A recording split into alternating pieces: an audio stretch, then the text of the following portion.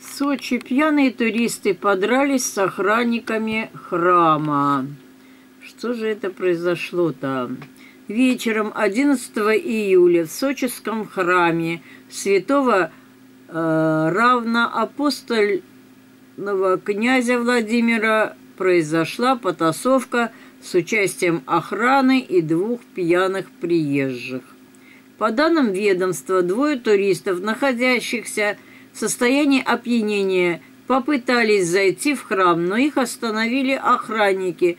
На этой почве вспыхнул конфликт, который впоследствии перерос в драку. В итоге противоправную деятельность дебаширов пресекли правоохранители. Мужчин задержали и доставили в отдел полиции. Проводится проверка. Черти-то вы, черти, что ж вы в храм-то идете пьяными? А уж если вы идете, так зачем же драться-то? Ну что сказать, в голове бесовщина.